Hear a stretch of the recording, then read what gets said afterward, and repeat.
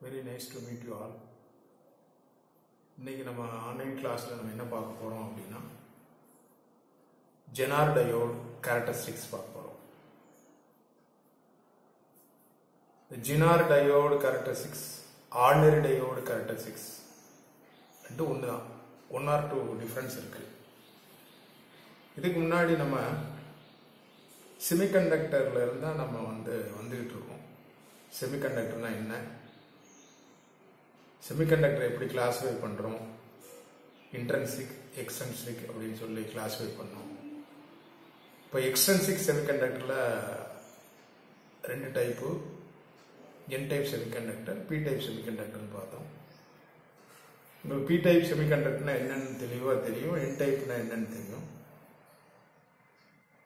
இப்போ B type என் என் டைப்பையும் நம்ம சேர்த்து இது போன கிளாஸில் நம்ம என்ன பார்த்தோம்னா பிஎன் ஜங்ஷன் டயோடுன்னு பார்த்தோம். இந்த பிஎன் ஜங்ஷன் டயோடு எப்படி ஃபார்ம் ஆகுது? அந்த ஃபார்மேஷனில் சென்டரில் ஒரு பேரியர் ஃபார்ம் ஆகும். டிப்ளேஷன் லேயர் அந்த லேயர் எப்படி ஃபார்ம் ஆகுது அப்படிங்கிறத பற்றி போன கிளாஸில் டீட்டெயிலாக பார்த்தோம். அது உங்களுக்கு தெளிவாக புரிஞ்சிருக்கும். அந்த ஜங்ஷன் தான் ரொம்ப முக்கியம். அதே மாதிரி அதுக்கப்புறம் பார்த்தீங்கன்னா ஆர்டினரி டயோடில் போன கிளாஸ் நம்ம என்ன பார்த்தோம் அப்படின்னா ஜங்ஷன் ஃபார்மேஷன் பார்த்தோம். அப்புறம் ஒர்க்கிங் பார்த்தோம். ஒர்க்கிங் மீன்ஸ் அது ப்ராப்பர்ட்டி ஒர்க்கிங் அப்படின்னா என்ன சொல்லலாம் அந்த ஆர்டினரி டயோடு அதுக்கு பயாஸ் பயாஸ் மீன்ஸ் என்னென்னா எக்ஸ்டர்னல் வோல்டேஜ்னு அர்த்தம். பயாஸ்னா வேற ஒன்றும் கிடையாது எக்ஸ்டர்னல் வோல்டேஜ் அந்த ஆர்டினரி டயோடுக்கு நம்ம எக்ஸ்டர்னல் வோல்டேஜ் கொடுத்தால் எக்ஸ்டர்னல் வோல்டேஜ் அப்ளை பண்ணி இன்க்ரீஸ் பண்ணால் அந்த டயோடு வந்து எப்படி ஒர்க் ஆகுது அப்படின்னு போன கிளாஸில் பார்த்தோம். எப்படி பார்த்தோம்? ஃபார்வேர்டு பயாஸில் வந்து நம்ம அப்ளைடு வோல்டேஜ் இன்க்ரீஸ் பண்ணுறப்ப இனிஷியலாக வந்து சிலிக்கான் அப்படின்னா பாயிண்ட் செவன் வோல்ட் வரைக்கும் ஃபார்வேர்ட் பயாஸில் கரண்ட் ஃப்ளோ இருக்காது. வோல்ட் இன்க்ரீஸ் பண்ணால் கரண்ட் ஃப்ளோ இருக்காது. அந்த பாயிண்ட் செவன் வோல்ட்டு கிராஸ் பண்ணிடுச்சுன்னா அந்த பாயிண்ட் செவன் வோல்ட்டுங்கிறது பேரியர் வோல்டேஜ் அந்த பாயிண்ட் செவன் வோல்ட் வரைக்கும் என்ன ஆகுதுன்னா எலக்ட்ரான் வந்து என் டைப்லேருந்து பி டைப்புக்கோ இல்லை ஹோல்ஸ் என்லேருந்து பிக்கோ வந்து கிராஸ் ஆகாது டிஃப்யூஸ் ஆக முடியாது. இன்னும் பேரியர் இருக்குது இந்த பேரியர் உடைக்கணும். உடைக்கிறதுக்கு நம்ம என்ன பண்ணணும்? அப்ளைடு வோல்டேஜ் கொடுத்து அந்த பாயிண்ட் செவனை கிராஸ் பண்ணுறப்ப என்ன ஆகுது அப்படின்னா ஃப்ளோ ஆக ஆரம்பிச்சிடும் கரண்ட்டு அது பார்த்து நம்ம உங்களுக்கு தெரியும். இதில் பேரியர் வோல்டேஜ் வந்து ரிடியூஸ் ஆகுது ரெசிஸ்டன்ஸ் ஜீரோ ஆகுது கரண்ட் ஃப்ளோ ஆகுது அப்படின்னு பார்த்தோம் ஃபார்வர்ட் பேஸில் அதே தான் இன்னைக்கு பார்க்க போகிறோம் ஒன்றும் கிடையாது. இன்னும் ஒரு சில டிஃப்ரென்ஸ் தான். நேற்று என்ன சொன்னோமோ அதை தான் திரும்பி படிக்க போகிறோம் இதுவுமே முக்கியமான கொஸ்டின் இது பார்த்தோம் அப்புறம் ரிவர்ஸ் பயாஸ்ன்னு பார்த்தோம். பயாஸ் அப்படின்னா எக்ஸ்டர்னல் வோல்டேஜ்னு சொல்கிறோம் ரிவர்ஸ் பயாஸ் கொடுக்குறப்ப அந்த ஆனியர் டயோடு எப்படி ஒர்க் ஆச்சு அப்படின்னு பார்த்தோம். ரிவர்ஸ் பயாஸ் கொடுக்குறப்ப பார்த்தீங்கன்னா வோல்டேஜ் இன்க்ரீஸ் பண்ண பண்ண இந்த ஜங்ஷன் வந்து இன்க்ரீஸ் ஆகிட்டு இருக்கும் ஜங்ஷன் இன்க்ரீஸ் ஆகுது அப்படின்னா ரெசிஸ்டன்ஸ் என்ன ஆகும்னா வெரி ஹை ரெசிஸ்டன்ஸ் இப்போ வெரி ஹை ரெசிஸ்டன்ஸ் அப்படின்னா கரண்ட் ஃப்ளோ இருக்காது. கரண்ட் ஃப்ளோ இருக்காது.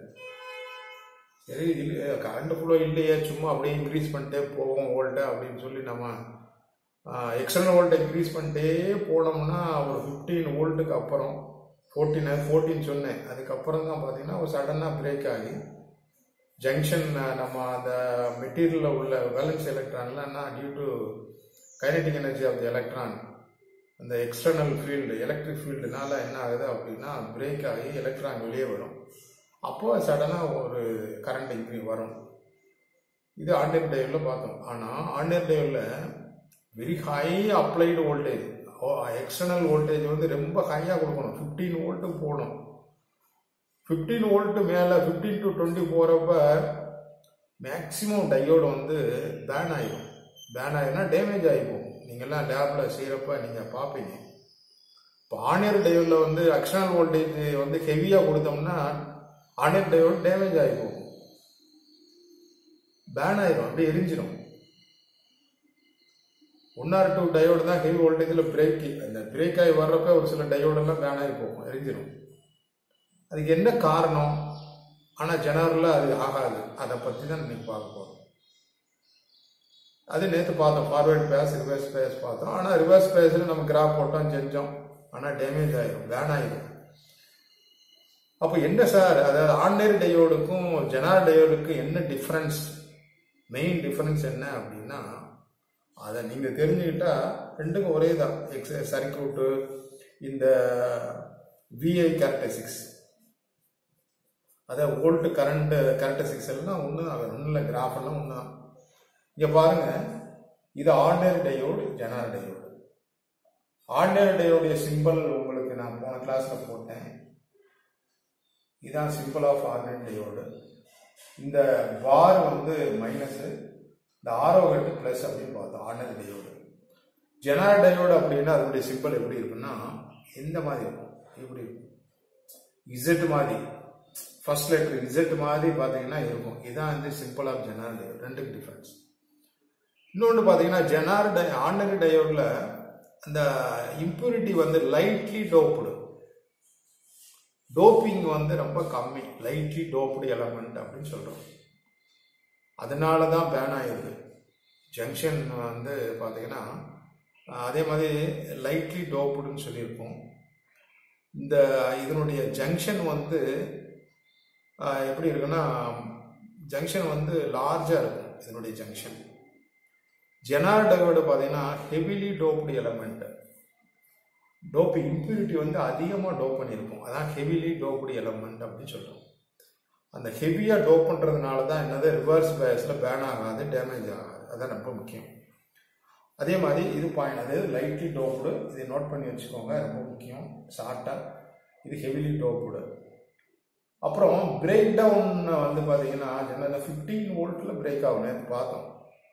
ரொம்ப தள்ளி வந்து இப்படி பிரேக் ஆகும் ஆர்டினரி டேவில் ஃபிஃப்டீன் வோல்ட்டு நேற்று பார்த்தீங்கன்னா ஃபோர்டீன் வோல்ட்டு சொன்னேன் உங்களுக்கு ரஃபாக சொன்னேன். அப்போ பிரேக் டவுன் வோல்டேஜ் ஹையாக இருக்கும் ஜெனோடையோட break down voltage very low எவ்வளோ இருக்குன்னா ஃபைவ் டு நைனுக்குள்ளே வரும். மேக்ஸிமம் நைன் தான். நைன் மேலே கிடையாது. ஃபைவ்லேருந்து நைனுக்குள்ளே பிரேக் ஆகும். ஃபைவ்ல பிரேக் ஆகணும்னா டோப்பிங் அப்படி அதுக்கேற்ற மாதிரி டோப்பிங் இருக்கும். சிக்ஸில் பிரேக் ஆகணும் அதுக்கேற்ற மாதிரி இருக்கும். ஒவ்வொரு ஜெனாடையோடுக்கும் break break down voltage set பண்ணுவாங்க. மேனுஃபேக்சரிங்கில் செட் பண்ணிடுவாங்க. சரி அது ரெண்டு பாயிண்ட் பார்த்து மூணாவது பாயிண்ட் வென் ஃபார்வேர்டு பயாஸ் கொடுக்குறப்ப ஆன்லைன் டயோடு ஜெனாடு ரெண்டு ஒன்று மோத்தார் சேம் ஃபார்வேர்டு பயாஸில் இந்த ஃபார்வேர்டு பயாஸ் இந்த ஃபார்வேர்டு பயாசிங் கண்டிஷனில் அது ஆர்டினரி டயோடாக இருந்தாலும் சரி ஜெனரல் டயோடாக இருந்தாலும் ரெண்டும் ஒன்று characteristics no change no change எந்த சேஞ்சுமே கிடையாது. எந்த சேஞ்சும் கிடையாது. ஆர்டினரி டயோடில் எப்படி கேரக்டரிஸ்டிக்ஸோ அதே தான் ஜெனாரில் எந்த பயாஸில் ஃபார்வேர்டு பயாஸ் அது when forward bias both are சேம்னு போட்டேன். ரெண்டுமே ஒன்று இங்கேயும் இங்கேயும் ஒன்று ஃபோர்த்து பாயிண்ட் என்ன சொல்லுன்னா high external applied voltage applied voltage ஹெவியாக கொடுக்குறப்ப அவளை சொன்ன மாதிரி டயோடு பேன் டேமேஜ் ஆகும். Zener is not burn zener வந்து பிரேக் ஆகாது பேன் ஆகாது எரியாது டேமேஜ் ஆகாது. எதனால? ஹெவிலி டோப்டி எலமெண்ட் இது ஏன் டேமேஜ் ஆகுது? லைட்லி டோப்டி எலமெண்ட் இன்னொன்று ஜங்ஷன் பேரியர் அந்த டிப்ளஷன் லேயர்னு சொன்னோம்ல junction barriers very high barrier வந்து ஹையாக இருக்கும். இந்த ஜங்ஷன் பேரியர் இங்கே வந்து வெரி நேரோ ரொம்ப நேரோவாக இருக்கும். இதில் ஜெனாரில் ஜங்ஷன் பொட்டன்ஷியல் பேரியர்னு சொல்லுவோம். இல்லை ஜங்ஷன் பேரியர் ஜங்ஷன் வந்து நேராவாக இருக்கும். இதில் ஜெனாரில் இந்த அஞ்சு பாயிண்ட் சொல்லியிருக்கேன். அந்த அஞ்சு பாயிண்ட் தான் அந்த அஞ்சு பாயிண்ட் தான் டிஃபரன்ஸ் இதை மெயினாக நோட் பண்ணி வச்சுக்கோங்க. இதை வச்சே நீங்கள் எழுதலாம். ஜெனரல் ஆர்டினரி என்ன டிஃப்ரென்ஸ் இது மாதிரி தெரிஞ்சாவே நம்ம வந்து ஒன்றும் எந்த பிரச்சனையும் இருக்காது. அப்போ இப்போ நம்ம என்ன பார்க்க போகிறோம் அப்படின்னா போன கிளாஸில் பார்த்தோம் கேரக்டரிஸ்டிக்ஸ் பார்க்க போகிறோம் ஒர்க்கிங் வந்து சேம் தான். நான் சொல்லிட்டேன். Working of generate forward bias reverse bias அப்படின்னு சொல்லிட்டேன். இப்போ என்ன பார்க்க போகிறோம்னா கேரக்டரிஸ்டிக்ஸ் பார்க்க போகிறோம் கேரக்டரிஸ்டிக்ஸ் எக்ஸ்பெரிமெண்டல் சர்க்கியூட் இது. எக்ஸ்பெரிமெண்ட் ஆர்டினரி சர்க்யூட் போடலாம் எக்ஸ்பெரிமெண்டல் சர்க்கியூட் எக்ஸ்பெரிமெண்டல் சர்க்கியூட்டில் என்னென்ன காம்பனன்ட்ஸ் இருக்குது அப்படின்னா பேட்டரி போட்டிருக்கோம் இது. இது பாசிட்டிவ் இது நெகட்டிவ் பேட்டரி போட்டிருக்கோம். அடுத்து இருக்கிறது இது பார்த்தீங்கன்னா ரியோ ஸ்டார்ட்டு இது ரியோ ஸ்டார்ட்டு இந்த பக்கம் பார்த்தீங்கன்னா மில்லி அம்மீட்டர் இது மில்லி அம்மீட்டர் மில்லி இது மைனஸ்னா இங்கே ப்ளஸ் கொடுக்கணும். மைனஸ் இங்கே வந்து ரெசிஸ்டன்ஸ் இந்த ரெசிஸ்டன்ஸ் ஏடும் ஏன் போட்டிருக்கோம் அப்படின்னா கரண்ட்டை கொஞ்சம் லிமிட் பண்ணுறது கரண்ட்டை லிமிட் பண்ணுறதுக்கு நம்ம ரெசிஸ்டன்ஸ் போட்டிருக்கோம். இதுதான் ஜெனாரு. இதுதான் ஜெனார் டயோடு ஜெனார் டயோடுக்கு அப்படியே வந்து பேரலாக என்ன போட்டிருக்கோம்னா வோல்ட் மீட்டர் போட்டிருக்கோம். இது மைனஸு ப்ளஸ்ஸு பழைய போடுறது இங்கே கொடுத்துட்டோம். இதுதான் சர்க்கியூட் இது என்ன பயாஸில் போட்டிருக்கேன் அப்படின்னா இது ப்ளஸ் மைனஸ்னு போட்டிருக்கேன். ரிவர்ஸ் பயாஸ் போட்டிருக்கேன். ரிவர்ஸ் பயாஸ் இது ஆர்டினரி டயோடு இது ஜெனரல் டயோடு போட்டு ஆர்டினரி டயோடு அடிச்சிடுறேன் இப்போ ஃபார்வர்ட் பயாஸில் கொடுக்கணும் அப்படின்னா என்ன பண்ணணும்? பொலாரிட்டி இங்கே வந்துருக்கும் நான் இப்போ ரிவர்ஸ் பயாஸில் போட்டிருக்கேன். ஃபா ஃபார்வேர்ட் பயாஸ் கொடுத்தோம்னா இப்படி இப்படி கொடுத்தா இது forward bias minus plus minus plus இது ஃபார்வேர்டு பயாஸ் இப்போ ஃபார்வேர்டு பயாஸ் ஃபார்வேர்டு பேஸில் நம்ம வந்து ரியோஸ்டாட்டை வந்து அட்ஜஸ்ட் பண்ணி வோல்ட்டை இன்க்ரீஸ் பண்ணோம்னா வோல்ட்டை இன்க்ரீஸ் பண்ணோம்னா என்ன நடக்கும் அப்படின்னா இங்கே அப்படியே வோல்ட் வந்து இது பாயிண்ட் செவன் இந்த இடத்துல பார்த்தீங்கன்னா point seven volt silicon volt increase என்ன பண்ணால் கரண்ட் இருக்காது. வோல்ட்டை இன்க்ரீஸ் பண்ணுறோம் அப்படி நோ கரண்ட் ஃப்ளோ இந்த அம்மீட்டர் நோ கரண்ட் இருக்காது. எப்போ இருக்கும்? பாயிண்ட் செவன் வோல்ட்டு அப்புறம் இன்க்ரீஸ் ஆகும். லீனியராக இன்க்ரீஸ் ஆகும். இங்கேருந்து நான் சொன்னோம்ல ஏ பி அப்படின்னா அது இன்க்ரீஸ் ஆகும் லீனியராக இன்க்ரீஸ் ஆகும். இதுதான் நம்ம போன ஆர்டினரி டேயோடு பார்த்தோம். ஆர்டினரி டேயோடு எப்படி ஒர்க் ஆகுதோ அதே மாதிரி தான் ஜெனரல் டேயோடு ஒர்க் ஆகும். எந்த பயாஸில் ஃபார்வேர்ட் பயாஸில் நோ சேஞ்ச் எந்த சேஞ்சும் கிடையாது. இப்போ என்ன சிறப்பு அப்படின்னா ரிவர்ஸ் பயாஸ் தான். ஜனார் அப்படின்னாவே ரிவர்ஸ் பயாஸ் தான். ரிவர்ஸ் பயாஸில் மட்டும்தான் இது யூஸ் ஃபார்வர்ட் பயாஸில் நோ யூஸ் அப்போ இது வந்து என்னது அப்படின்னா மைனஸ் அப்படின்னா இங்கே என்ன கொடுக்கணும்? ப்ளஸ் கொடுக்கணும்.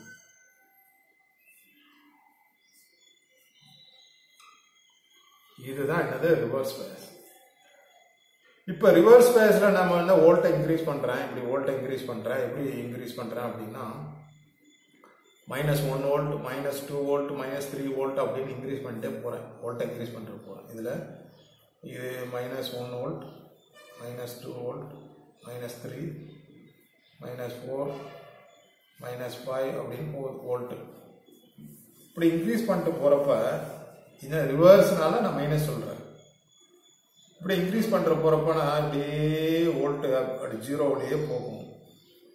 ஆனால் லைட்டாக இன்க்ரீஸ் ஆக லைட்டாக ஒரு கரண்ட் வருது. அது போன கிளாஸில் சொன்னேன் டியூ டு மைனாரிட்டி கேரியர் அந்த கரண்ட்டுக்கு பேர் என்ன அப்படின்னு சொன்னோம்னா ரிவர்ஸ் சேச்சுரேஷன் கரண்ட் அப்படின்னு சொன்னோம். அப்படியே வந்துக்கிட்டு இருக்கும். ஒரு பர்டிகுலர் வோல்ட் வரப்போ என்னன்னா டக்குன்னு இப்படி இன்க்ரீஸ் ஆகும்.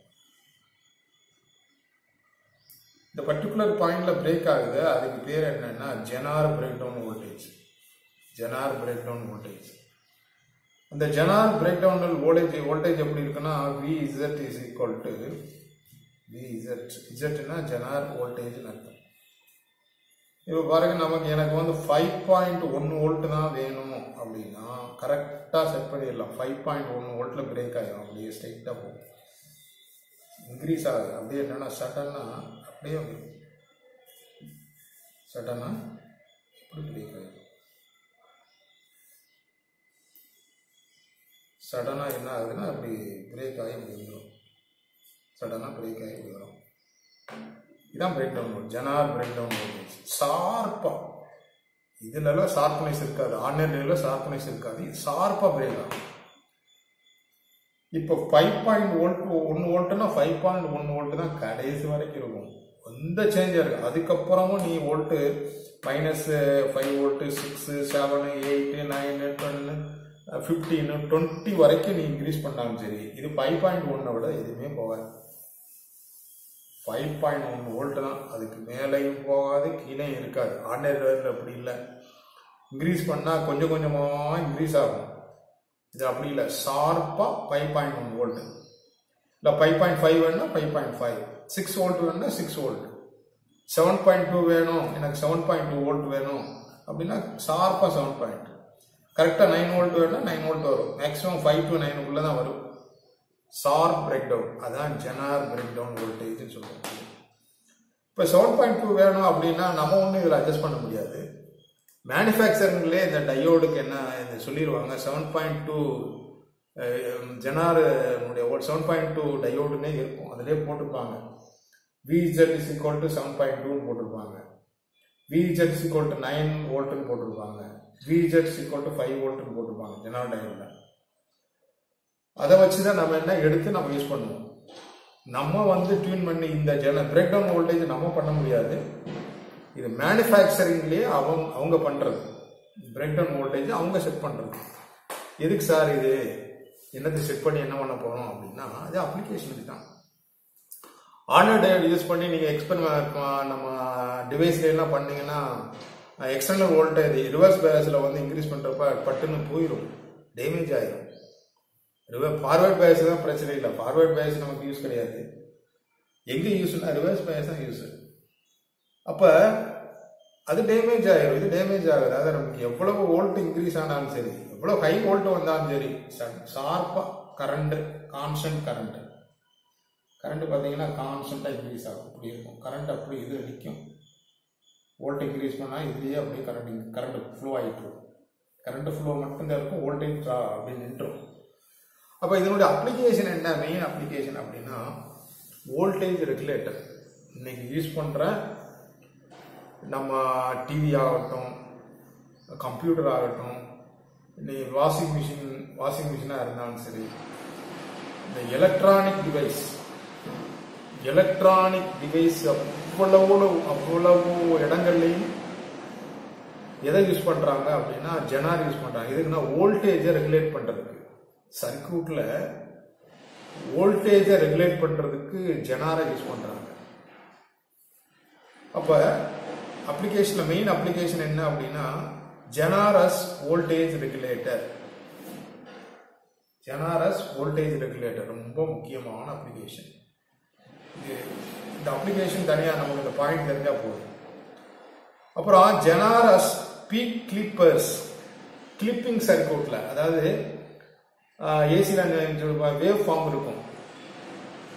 Positive half cycle negative half சைக்கிள்னு சொல்லி வேவ் ஃபார்மில் பாசிட்டிவ்ல வர்றது நெகட்டிவ்ல வர்றது வேவ்ஸ் அந்த வேவ்ஸை கிளிப் பண்ணுறது கட் பண்ணுறது வேவ்ஸினுடைய ஷேப்பை சேஞ்ச் பண்ணுறது கிளிப்பர்ஸ் கிளாம்பர்ஸ் அப்படின்னு இதில் எதில் யூஸ் பண்ணுறாங்கன்னா கிளிப்பர்ஸ் கிளாம்பரில் வேவ் ஃபார்மை சேஞ்ச் பண்ணுறதுக்காண்டி அதில் யூஸ் பண்ணுறது என்ன யூஸ் பண்ணுறாங்க ஜெனரல் டயோடு யூஸ் பண்ணுறாங்க இன்னும் ரொம்ப முக்கியமானது நம்ம மல்டிமீட்டர்ஸ் மீட்டர்ஸ் எல்லாம் இருக்கு நீங்க பார்த்துருப்பீங்க. நம்ம மெசர் பண்ற மீட்டர்ஸ் அந்த மீட்டர்ஸை ப்ரொடக்ஷன் பண்றதுக்கு. ப்ரொடெக்ஷன் அதில் டேமேஜ் ஆகாமல் இருக்கிறதுக்காண்டி அதில் சடன் கரண்ட் இன்க்ரீஸ் ஆனாலும் சொல்லி அது டேமேஜ் ஆகிடக்கூடாதுங்கிறதுக்காண்டி அதுல ஜெனாடையோடு யூஸ் பண்ணுறாங்க அது ரொம்ப முக்கியம். இப்படி அப்ளிகேஷன்ஸ் இருக்கு. எந்த இடத்துல எடுத்தாலும் சரி எலக்ட்ரானிக் டிவைசஸ்ல பார்த்தீங்கன்னா ஜெனார் தான் யூஸ் பண்றாங்க. எதுல யூஸ் பண்றாங்கன்னா ரிவர்ஸ் பயாஸில் மட்டும்தான் ஜெனார் யூஸ் பண்றாங்க. இப்போ ரொம்ப முக்கியமானது ஜெனாருனாவே என்ன மைண்ட்ல செட் பண்ண? ரிவர்ஸ் பயாஸ் இப்போ ஜெனா ஜெனா ஆர்டினரி டயோடுக்கும் ஜெனாருக்கு என்ன அதனுடைய அட்வான்டேஜ் அதாவது ஒன்று முதல்ல கண்டுபிடிக்கிறாங்க. அப்போ அதனுடைய டெவலப்மெண்ட் வேணும்ல. டெவலப்மெண்ட்னு பார்த்தா அது லைட்டாக டோப் பண்ணியிருக்காங்க சரியாகல ஹெவியாக ஹெவியாக டோப் பண்ணுறாங்க ஹெவியாக டோப் பண்ணுறதுனா என்ன யூஸ் அப்படின்னா break down low break down voltage கிடைக்குது. டேமேஜ் ஆகலை ஜங்ஷனை வந்து குறைக்கிறாங்க. ஜங்ஷன் நேரோ ஆக்கிறாங்க இது வந்து ஜங்ஷன் ரொம்ப பெருசாக இருக்கும் இது ரொம்ப சிறுசாக இருக்குது அதெல்லாம் என்னோட அட்வான்டேஜ் ஜெனாருடைய அடுத்த ஜெனரேஷன் அதான் அட்வான்டேஜ் இந்த மாதிரி என்ன பண்ணுறாங்க அப்படின்னா ஜெனா ஆர்டர் டேயோட ஜெனரல் டேயோட சேஞ்ச் பண்ணி அதனுடைய அப்ளிகேஷனை இம்ப்ரூவ் பண்ணுறாங்க ஆர்டர் டேயோடைய அப்ளிகேஷனை விட ஜெனாரிக் தான் அப்ளிகேஷன் ஆகும் எல்லாமே ஜெனார் யூஸ் பண்ணுறாங்க அப்போ நம்ம பார்த்தீங்கன்னா ஆர்டர் டே யூஸ் பண்ணுவோமா? பண்ண மாட்டோம். ஜெனாரதை யூஸ் பண்ணுவோம். இப்போ ஜெனார் தான் ரொம்ப முக்கியமானது. அப்போனா நமக்கு சிலபஸில் என்ன இருக்குன்னா ஜெனார் கேரக்டரிஸ்டிக்ஸ் ஜெனார் கேரக்டரிஸ்டிக்ஸ்னா அப்படின்னா இதுக்கு முன்னாடி என்ன படித்தோம் அதுக்கு இதுக்கு கம்பேரிசன் இருந்தால் தான் புரியும். அது இது ஒன்று தான் சொல்கிறாங்க அப்படின்னு கம்பேரிசன் இருக்கணும் இப்போ ஒர்க்கிங்னு பார்த்தீங்கன்னா ஃபார்வேர்ட் பேஸ் ரிவர்ஸ் பேஸ் ரெண்டு எப்படி ஒர்க் ஆகுது? அப்போ எக்ஸ்பெரிமெண்டல் சர்க்கியூட் போட்டு எப்படி கிராஃப் போடணும்? இதுலேயும் பார்த்தீங்கன்னா ரிவர்ஸ்